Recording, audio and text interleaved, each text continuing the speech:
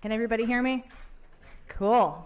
I've never used a mic like this before. It's exciting. I feel like a radio announcer, as someone said to talk like you're a radio announcer. Yeah. So, morning, everyone. Uh, thank you for the introduction. Um, as Max said, my name is Michele Titolo. I am a software engineer at Square over in San Francisco. Uh, does everyone here know what Square is? Okay, good. I'm not going to do a demo or pitch. Or, I wasn't going to anyway.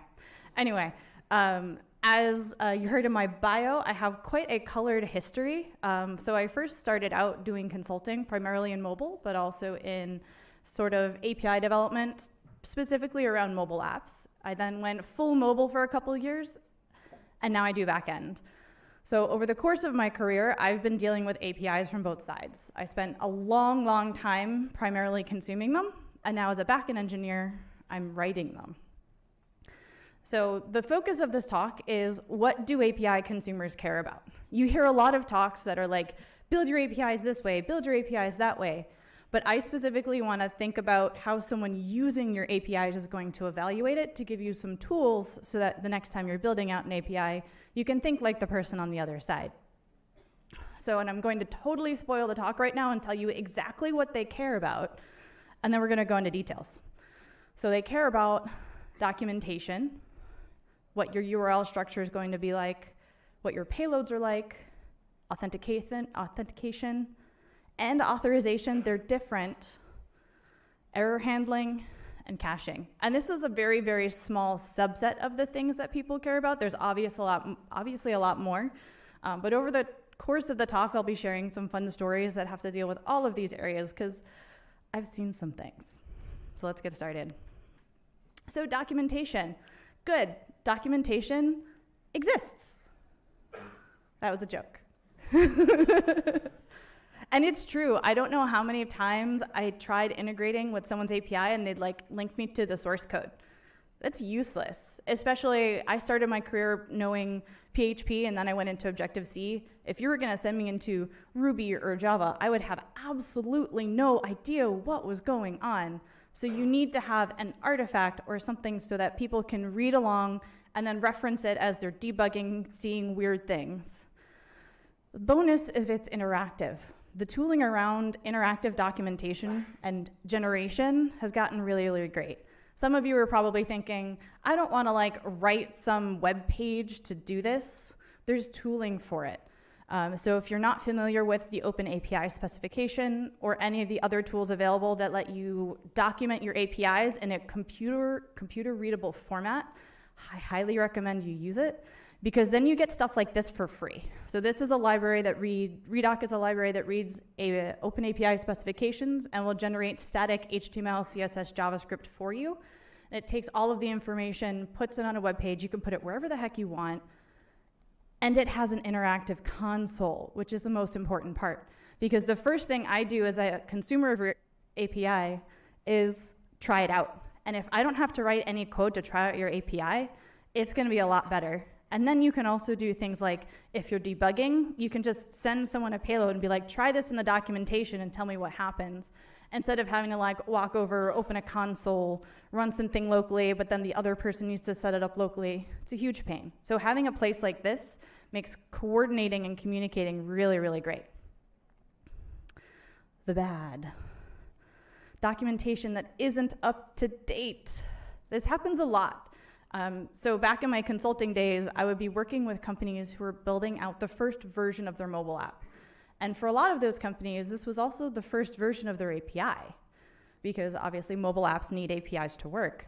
So, we would be iterating really fast, working really closely together and then something would ship to production, but then we wouldn't update the documentation, so then it'd be kind of difficult to keep up. Or you'd say, oh, this was last updated two weeks ago, what's the latest version? Has anything changed? And you'd have to go and talk to a person every single time. Again, slows things down, it interrupts developers who don't like being interrupted, and it's just not a great experience. So, the ugly. Documentation? Again, this goes back to people who think API documentation as code does not exist. Um, or people who think they can just like write prose and tell you about their documentation, tell you about their API in prose-like format. That's not not great. I want code samples. I want payload examples. I want all of those really great things. So um, usually this is my reaction. You keep using that word documentation. I do not think it means what you think it means. Um, and again, happened to me. It's fun. So let's talk about URLs. Now, I'm specifically calling out URLs here because as a consumer of APIs, I like writing code as few times as possible. So if I can write some helpers to automatically generate URLs for me, I'm going to, which is why they're so important. So good URLs have consistency. You would probably expect this. Uh, REST is the thing now. I don't necessarily have to explain REST anymore. I've given this talk quite a few times. I used to have to explain REST, now I don't. Um, so having things that are consistent, where you know what the different parts of the path mean, you know what the identifiers mean. Just as someone with developer common sense, I can understand what these different URLs are doing. So if you're going to have a RESTful API, follow RESTful conventions. If you're having a different paradigm, if you're going with something like gRPC or GraphQL or any of that stuff, again, follow what their conventions have been established. The bad, inconsistency. I see this so often when working with APIs that were developed one off for all of these different projects. And I'll talk about this a lot because when companies build their first version of their mobile app, they're usually starting to use some APIs that were built for JavaScript front ends. They're not necessarily the same. Um, those endpoints were built one off in time by various different teams, so tend to be inconsistent. So you get things like, oh, these all look consistent, but then you get these weird things where the last ID in the path is not actually related to the object that came before it. Um, I've seen this done as an optimization for like, instead of having like four or five nested things, you can do this one super special thing and then it, you don't have a really long URL. It's really, really hard to debug. It's hard to understand and you're going to forget about it, to be perfectly honest. So, the ugly. Send get to slash remove to delete something. I did this. so it's not a joke. You're not following standard HTTP semantics, and you're not following built in caching semantics, because a lot of client libraries make assumptions about gets versus deletes. So then you really just want to run away, because this is really, really bad. Please don't do it. uh, we had to debug a whole bunch of problems because of this, and we eventually got them to change it. Turned out they had some weird firewall rules. They couldn't send deletes. So they had to update their firewall in order to send a delete request because technology is hard. Okay, payloads. Good. Things about payloads. You have all of your data. Um, one of the biggest problems that I ran into when I was working in mobile is that you had to use sometimes four or five different endpoints to get all of the data for a single screen. And then as the client side developer, I have to be like, okay, I have five endpoints. What if one of them fails? Are any of them dependent on each other? And then you get into these weird states where, like, maybe I can get the really big product images, but I can't show the price on an e commerce app. That's like a really bad experience. Um, so, you want to make sure that the APIs you're building have all of the information. And if you're starting to see requests come in, like three or four at the same time, hopefully you have some good tooling around that, you might want to think about combining those because I think we've gone past the days of like only ever write generic APIs. You also want to be able to write APIs that are custom for the experiences that you want to create. Your payload should also respect the content type. I'll get into a little bit about why later, but if you're ever sending something back that wasn't the same content type, it causes problems. And versioning. So, in my experience, payloads are the things that should be versioned. Um, not necess- URLs are easy to change; those are you know not a problem. But as soon as you make a breaking change change to your payload, that's when you want a version, because some clients consuming that they're going to go look for a field that doesn't exist. Maybe it's the price for a product, and it's not going to be there. Um, or in the case of a mobile application, the app might crash. So versioning is not is for payloads, not necessarily for other things. So the bad. Okay, story time. Um, I've worked on a lot of e commerce apps, like probably about five of them now. Um, and one of our clients, we were building out the first version of their app. They had a JavaScript front end, single page app. This was back in like 2014. I don't remember what framework they're using, but I'm pretty sure it's dead now. And so they built out some new endpoints for the app, but in a lot of instances, we were reusing endpoints that had been built for this JavaScript front end. So, for instance, there were a bunch of different ways to get product information. You could get a list of products, you could get individual details of products, and you could also see some product information in the cart. Now, what happened is because these APIs were developed mostly organically over time, is we had a hard time figuring out what the product ID was. And, in, and this is an abbreviated list. There are actually seven of these, and some of them actually return the product ID in two different fields. And I had to write code to handle this because we were doing, you know, good object-oriented programming. We don't want to pass around just random like hashes or dictionaries. We wanted an object, so you had to write a parser. It was a pain. And this was actually in a whiteboard in the conference room we were working in because no one could keep it straight. It was not great. So be consistent and even when you're creating those single one off APIs, you do want to start establishing conventions for things. Do you want to use the ID field? What happens if you have nested products, like in the cart, where you have a cart item with like quantity and like a SKU number maybe, but then you actually have like a subset of product details with like a little picture and the name? Um, you need to figure that stuff out early. Otherwise, you're going to write code that deals with this, and it's really not great code. The other thing about payloads is dealing with change. So, as I, I said, I worked a lot with teams who were building out APIs basically as fast as we could use them. And so things were changing left and right. So, we expect certain things. If you're looking through a piece of documentation, even if it's just really basic, you're going to make assumptions about what you see, like image URLs having HTTP in them. Um, this actually became a problem for us because uh, way back when SSL was not as ubiquitous on the web, so the team was working to add SSL to the full website, and they decided to take out HTTP colon slash slash from all of the image URLs they passed back through the API, so that depending on whether you want HTTPS or not, you could use the right uh, beginning. But they didn't tell us, and we had a board demo that morning. So we're, our, I was not in the room, thankfully. I heard about this later because I had to debug it. But they were doing board demo, and all of a sudden, things were looking great. Things were looking great. They get to one specific page because they'd only done this to one API, which was the product details page, and they couldn't load any pictures in front of the board. It was really bad. It made us look bad. It made everyone else look bad. So even by having some really simple assumptions, you want to make sure that those don't change. Another thing that happened, a uh, different company, they were expanding into different AWS regions, and so their different machines didn't have time zones. They were now in different time zones. They wanted to add time zones to all the dates. Guess what? You hard code in most client side applications date parsing. You can't get that from a server usually. So again, it caused a crasher. They had to roll it back. And then we had to figure out what was the time, the one and only true timestamp for, format we were going to use for everything. Because trust me, you do not want to deal with four, five, six different ways of parsing timestamps depending on what endpoint you're using. Again, it's really not fun code to write, it's not fun code to maintain, and it leads to a lot of bugs. So, as consumers of APIs, when it comes to payloads, we expect certain things to not change. So, when you're writing your documentation, if you have an example uh, date if you have an example URL, people are going to assume that that's what it's going to be unless you say otherwise. The ugly, this is where we get into some fun stuff.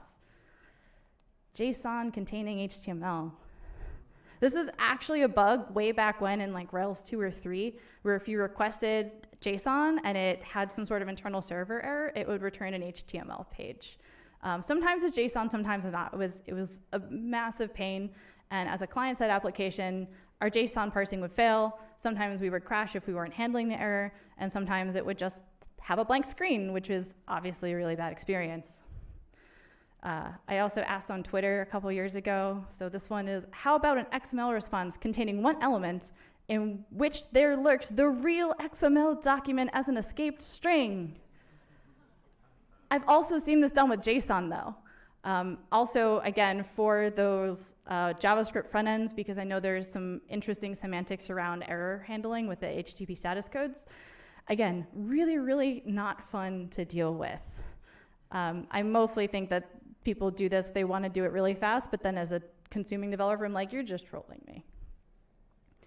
And again, going back to the stability of your APIs, there's nothing more frustrating than dealing with an unstable API because you can have everything working beautifully one day, and then the next day you come in and everything's going wrong and you have no idea what just happened. So you're like, my code didn't change. Um, and it wastes developer cycles, it means more communication, more overhead, and generally it's just a worse experience for everyone. Okay, authentication. Good. SSL. If you're not using SSL, please use SSL. The first few times I gave this talk, SSL wasn't as easy to get. You still had to pay those like ridiculously priced certificates. But now you can do it for free.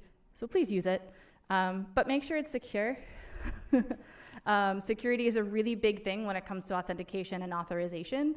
And have your bases covered. Who remembers goto fail? Oh, only a couple hands. So this was a bug in uh, on iOS and Mac a couple of years ago, where in certain conditions it would actually bypass SSL certificate verification on the client side. So that means anyone could have man in the middle all of your stuff, and it would have been totally fine. Um, which is why you have to care not just about where your code lives and where your servers are and what your firewalls are doing, or what browser or what iOS or uh, mobile version that the person on the other end is using, you have to worry about everything in between. Uh, which is why SSL pinning, if you have, uh, if you're working with mobile clients, use SSL pinning. It just two-way, make sure that both are, agree that they are who they say they are instead of just a one-way. Um, it really, really helps the security, and it's a lot easier to do now than it was a couple years ago. Um, and then, of course, use an open standard, something like OAuth, to actually authenticate your users. So, authentication is in some ways about if you're dealing with mobile, you have to identify the mobile client. If you're in a browser, you just authenticate the user and hope that the browser is okay. Well, not hope, but try to do a little better. The bad, also OAuth. um, again, lovely friend from Twitter. Can you have a slide that says OAuth and leave it up there for 45 minutes? OAuth is very controversial, um, but it is an open standard, and you want to use standards because when we get to the ugly, you can become Bob the Builder and then build everything yourself. And then guess what? There's no tutorials on how this works. You can't look things up on Stack Overflow. There's no videos. There's no conference talks. It's completely homegrown, which means your developers are going to hard, you know, they might build it once, but then if they need to support it ongoing, it's just going to be a pain. And you're also going to expose yourself to vulnerabilities that the community would have fixed. Um, one of my coworkers in InfoSec puts it as you are a zebra and everyone else in the Serengeti is a lion if you rely too much on your own code.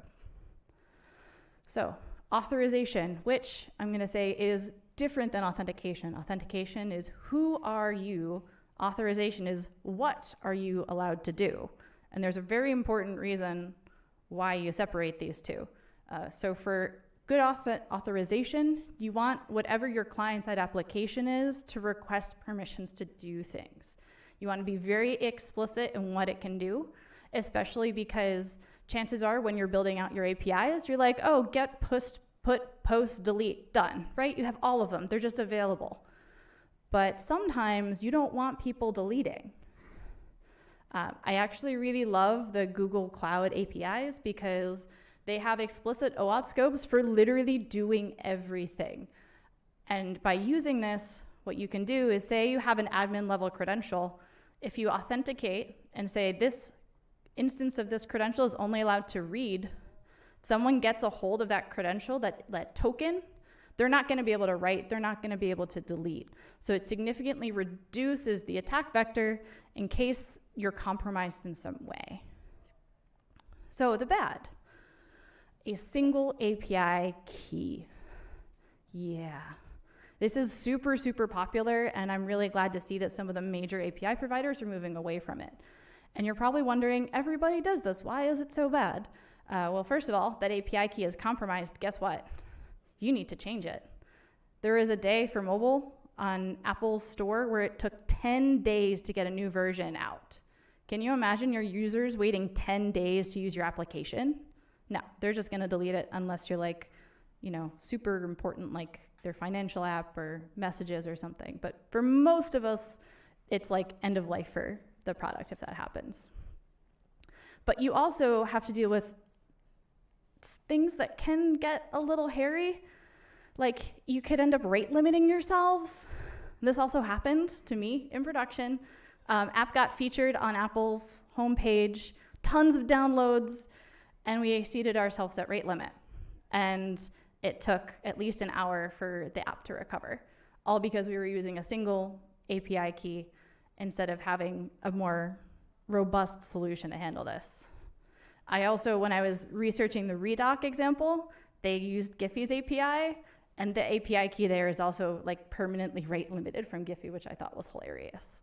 Um, so you can do all sorts of crazy things with API keys. The ugly authorization. If you're only doing authentication and you're giving users full read write access to everything, things are going to eventually go wrong. I've worked at companies where third parties reverse engineered our APIs from the mobile apps because they weren't public and then just started using them. You don't want that to happen to you. You don't want some malicious, not necessarily malicious, but just curious, even third parties using what you built without your permission, especially because you're going to have to pay for the server costs. You're going to have to pay for all of the in- increased traffic. You're going to have to deal with what happens when they accidentally, you know, DDoS your server, but it's an API that only the app uses, so how could that happen? A lot of people also don't think about authorization when it comes to mobile because they think it's super secure. You can totally trust Apple and Google to have the most secure things ever. But there are proxies. There are people who set up bogus Wi Fi networks. Um, Charles is a debugging proxy that we've frequently used in mobile because you just wanted to see what was happening, especially if you're dealing with like a third party SDK. You want to see what was happening. Um, it's also like you can Google it, and there's a whole bunch of information out there how to do it. Um, so you can't always assume that just because you're using a vendor for something or a provider that has a low level framework that it's going to be secure and just keep track of everything for you. You still need to care. Errors. Everybody loves the unhappy path. So good using proper HTTP error status codes. They're great. People can make assumptions about them that they don't have to revisit and recode and write all these exceptions for. Um, a really great thing is to have an error message and a response for a developer so they know exactly what went wrong instead of them having to guess. Um, the worst thing to do is to have like a blob of JSON that you sent, and then the example blob of JSON, and then you're just going key by key and figuring out which key is incorrect. Um, again, I've done it, and once you get JSON blobs that are like, you know, 70, 100 keys in them, which you can, it's it's painful. But you also want a human readable error message, because at some point, if this is important enough, it's going to be affecting the user's experience. So you want to make sure that they're having the best experience possible. Say, oh, hey, we can't load this right now.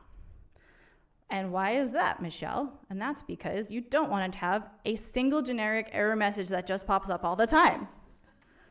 It's true. I had an app that did this. They made the decision every time we get an error, just show an alert. Oops, something's amiss. You'd be like scrolling through lists, and like randomly this alert would pop up, and you're like, but what's wrong?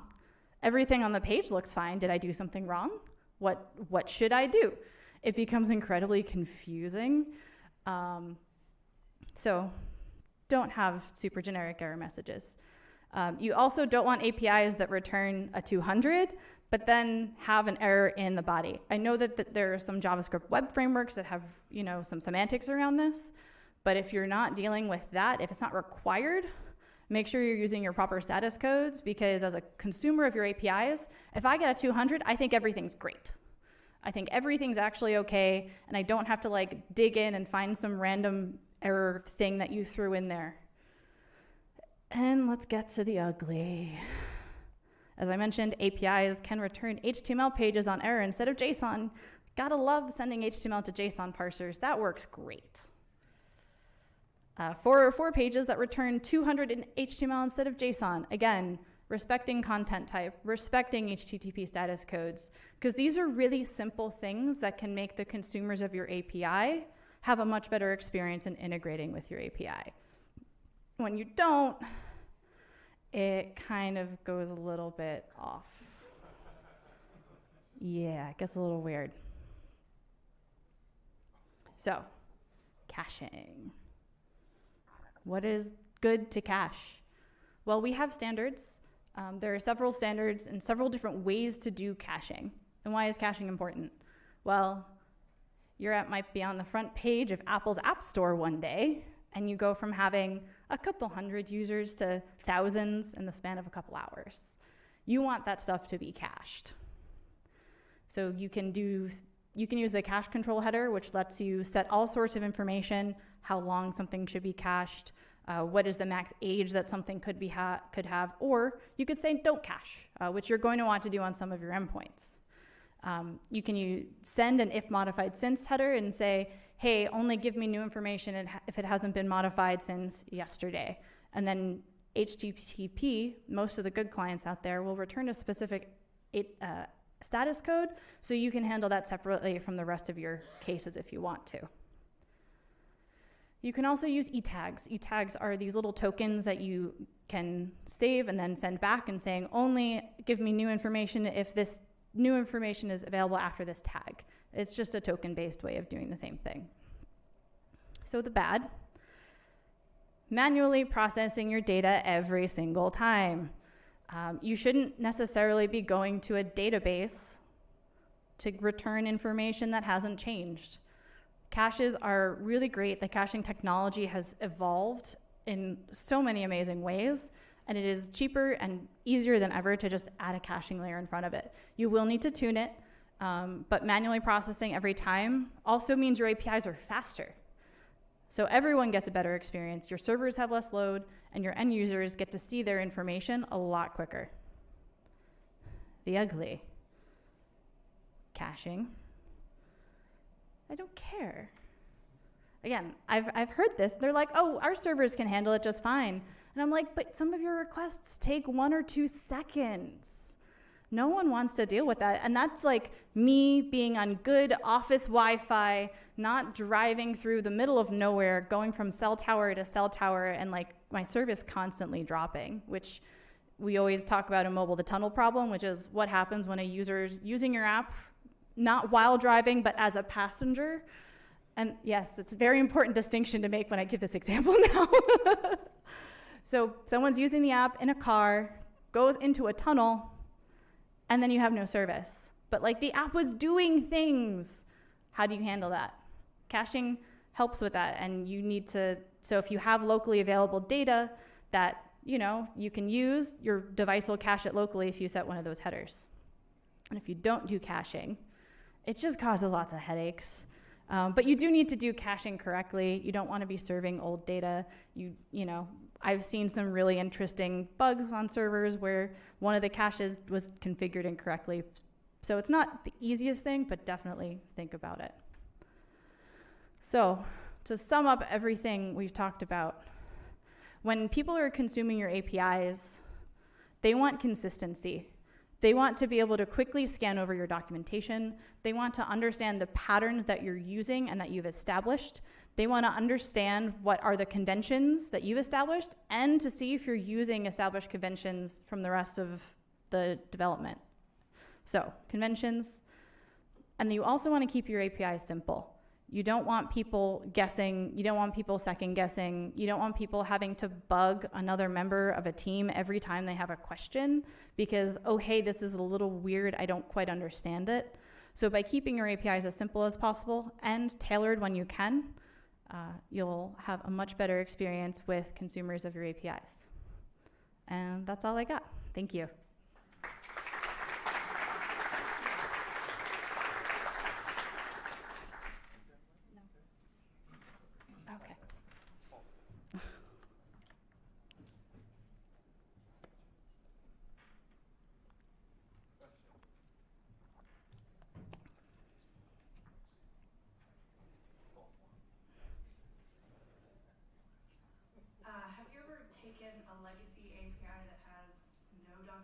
Documentation, and then like you have to start building documentation for that, and how would you approach that?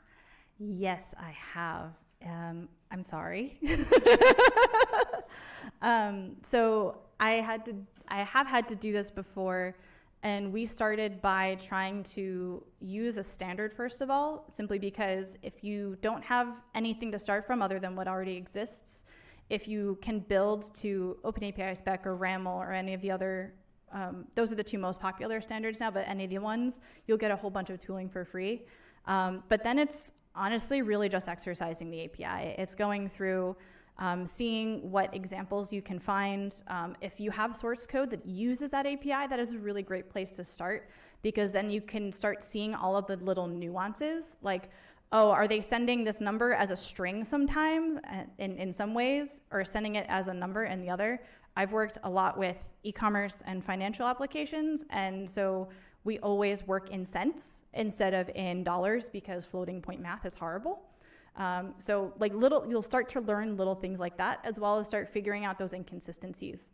Um, that table I showed with the different product endpoints, all of those endpoints that already existed didn't have documentation. So we were going through and documenting them as we went along, simply because like we needed to use them, other teams needed to use them, um, and the ownership of APIs will change as your organization grows too. So um, those would kind of be my recommendations. It is a lot of like trial and error.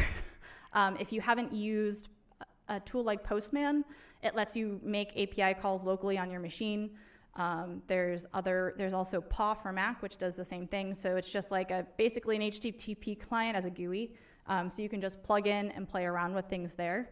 Um, that works really well too. You briefly touched on um, versioning API endpoints, but in your opinion, or, or based on what you've seen, um, it seems like there are a lot of different ways to handle versioning, ranging from host names to paths to headers to a payload. Mm-hmm. What, what seems to be the best practice, or what do you prefer? I'm a big fan of path versioning simply because every time I'm like as a backend developer looking at my logs, you'll have the path name printed. As a client developer looking at my logs, you'll have the path name printed. It's kind of like if you're going to only log one or two things about a request, it's going to include the path name. Um, sometimes you might have headers. Um, at Square, we're a financial company, so we actually have redactions in a lot of our logs, and they cover 10 digit numbers, for instance. so sometimes it gets a little hairy if you are trying to like rely on payloads, because that's going to be a little bit heavier redaction. Um, I've also seen what works well is um, date versioning as well. So, but that's a lot more work to support. So if you ever want to make a change, you're like, I want the API as of June 1st, 2018, um, then you as the developer need to own that. Um, so I, I do suggest paths. Um, we can debate later if anyone has other uh, opinions. Okay. Yeah, I got a question about payloads. Can I don't know where you are. Oh, hi. Hi Thanks for your talk. Um, I've got a question about payloads. So when you have a key basically jump around the payload, how what are your best practices for tracking down that key that's moved from your most recent call, or oh. How do you handle changes? Um, I'll, I spent six months at my last job building a tool that did this. They didn't open source it, unfortunately, before I left. Um, it's kind of difficult. Um, so the like the if you're dealing with those kinds of issues between changes or between like deploys, for instance, like you're working with a, an API team, the API team is moving really, really fast, they're moving stuff around. Um, the best thing you can do, and um, I've also done this is have like a, a, Jenkins job or something that hits the API and just validates the format. Like if you can't tie it to the deploy, fine, but just have it hit it like every four hours in like a staging environment or something, just so you can kind of get notified of those changes beforehand. So you can come in, you know, Monday morning and see that, oh, someone deployed late Friday night and my little test says that the format's changed. Um, and you don't need to use any of the formats for that. If you do use um, OpenAPI spec or uh, RAML, you can do validation against the documentation, but you can also just write it yourself. If it's like business critical, um, just be like, I expect the structure to look like this, and then just kind of run it. But it is kind of a manual process up until you have a more, up until your API team has a more robust test infrastructure that will find those changes ahead of time, uh, but also work with them on actually establishing a contract. It's natural for APIs to evolve over the course of development, but you want to really start nailing down that contract as soon as you have a really good idea of what it's going to be. Otherwise, you're just going to keep doing this, and then once it gets into the wild, it's going to break things.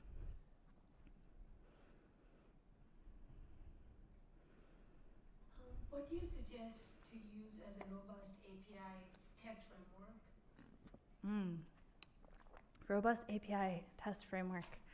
Um, so I've experimented a little bit with PACT, um, P A C T.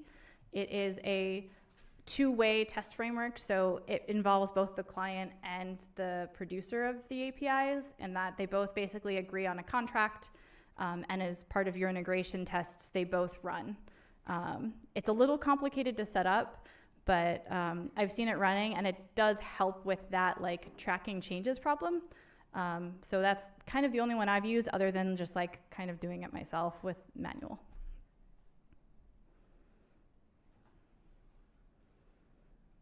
Hey, as uh, HTTP 2 gains support um, and the overhead for requests starts getting lower, are there other reasons why you might still uh, group uh, the smaller requests into larger ones? Yeah, a lot of that comes down to um, the user experience. So, um, one of the e-commerce apps I worked on had a separate endpoint for product details and reviews.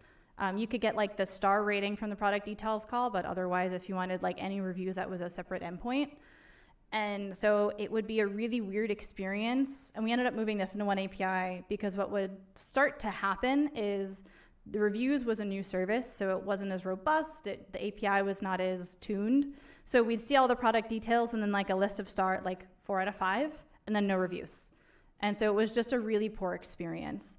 Um, or when you're dealing with people in really poor network conditions, if you have to make a couple different calls, some of those are going to fail, and then you'll have to start dealing with a very inconsistent state that you're showing to your end customer, which again is not necessarily great, especially like with I worked a lot in e-commerce. Like you want to make sure you're seeing like the product and like the price and like a button that says add to cart, and when it adds to cart, it works. Um, so it's more experience driven rather than performance driven. But with HTTP2, so who here knows about some of the differences between HTTP 1.1 and 2? Not okay, a couple. So one of the big things about HTTP2 is its ability to what they call multiplex. So right now with an HTTP connection, you kind of can make one request at a time per connection. It establishes a single connection. But with HTTP2, it interlaces things, so it has more concurrency enabled, and you can do more things with it. Um, it's just generally a better design. So you can send more data over HTTP2, but again, you also have to worry about those connection resets, and like if a request is partially respond, like if you've gotten part of it back, it just makes things a little bit more complicated. So if you're not looking into HTTP2, I do suggest doing it. It looks to be a really cool performance boost. It's not necessarily supported anywhere, especially older Android versions and um, some of the older browsers. So I know Steve Ballmer famously got on stage and said developers, developers, developers. But with APIs, the end, end consumer a lot of times are people like us who are the, the web application developers. Uh, with companies like Twilio who are now creating like fully interactive video games to teach people their APIs, what do you think is the next step in API Ooh. documentation? And where do you see the future and, and how do we, how does an API do a lot of, uh, you know, product differentiation to gain developer support? Yeah, that's a really great question. And I'm heavily skewed. I used to do some work with the Open API spec, which is probably why I've talked about it so much. I think their tools are just great. So I think we'll see a lot more tooling around doing a lot of the kind of API toil. Um, so toil is a, world, a word in the uh, SRE or site reliability engineer world, which is like really boring automated automatable tasks that aren't. So like writing a handler for you know a 404 error, like you're you should be able to write that like maybe once and then you know reuse it. So I think we'll see a shift of more um, like auto being able to auto generate server and client code. It exists today. It's not really really robust. Um, but I also think we'll see more people going the interactive API route. And um, one thing that I've seen that I really, really like is the ability to download. Um, so I mentioned Postman earlier. It's a Google Chrome app slash extension thingy. I don't know what they're calling them these days. Um, I've seen companies give you one of those so that it's not just a web page, excuse me, with documentation. You can then load it into your interactive HTTP GUI and actually play around with it. So I think the Twilio stuff is really cool, really neat, but I think at the end of the day, focusing more on normal developer tools rather than the cool like it's cool. Let's let's be honest. It's cool. But I think we'll see more focus on the like more standard developer tools simply because it's our bread and butter. It's what we know best. We like you know, GUIs for certain things. We like command lines for certain things. Um, it's a good information, but it's not like if you're debugging your Twilio API integration, are you going to go play a game or are you going to look at the documentation? You're going to look at the documentation. Oh, there's a question all the way in the back. Oh, there's a mic.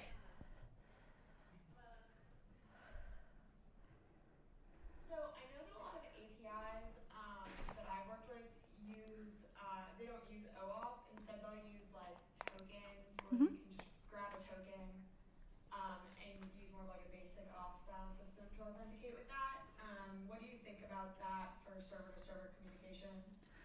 Oh, for server to server. Um, so, like, basically within your own internal networks. Yeah, or like if, if you know you already have authentication um, on your site and you just need to grab data from another site or something like that. Yeah, that can work. You still have to worry about if you have an API key and you're talking to a third party, you still have to worry about what happens when that API key gets taken. Um, because for especially if you're working with like a public third party API, there's going to be some other sort of public infrastructure between your stuff and their stuff. Um, it's okay. Like I know it's it's the standard, and a lot of people do it, and we're not getting rid of it anytime soon. Um, but it does have some inherent risks. Now, if you're within your own um, world um, and you're using API keys, that can work. I've also seen SSL pinning work. Um, or if you want to go really, really cool and advanced, you can add something like a service mesh that handles a lot of that for you. Um, at Square, we transitioned to Envoy uh, last year, and it's been really great for enforcing access controls, um, as well it has a whole bunch of other stuff. But it is a much more advanced piece of infrastructure than you know a API key. One over here. You're giving him a workout.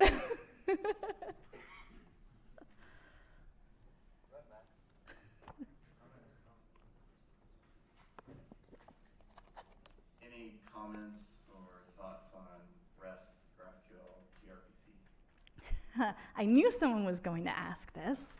Um, so uh, at Square, we use something called Sake. It's open source, but you, it's very much our own thing. Uh, we built it before gRPC existed, which is it's very similar to gRPC. So um, I'm biased there because I do like protobufs. I think they're um, they're typed, which is amazing because JSON's not typed, and it's oh my gosh, it's caused me so much pain in the past because it was like, is this number being returned as a number or a string? Like it happens all the time. Or is this true or in false, actual true or false, or in the string true and false? Um, so I'm a big fan of anything that lets you be much more explicit. Um, so, but REST is obviously a great choice. It's super versatile. It's super easy. Um, you do have a little bit more developer complication when it comes to something like gRPC. And then I'd say GraphQL is even more complicated. Um, so one of my coworkers, uh, Shawnee Gao, gave a talk at RubyKaigi about some of the graph, kind of about the GraphQL stuff we're looking at doing. And GraphQL is great if you have a monolithic database. GraphQL is great if you have a very small amount of services. But if you're trying to get data from, let's say, hundreds of services and you want to do that over GraphQL, it becomes incredibly complicated. So I think I'm waiting to see what the tooling looks like for GraphQL. As a consumer of the APIs, I think it's fantastic. I can completely configure my payload to give me exactly what I want. But there's a very large setup cost if you're not starting with it.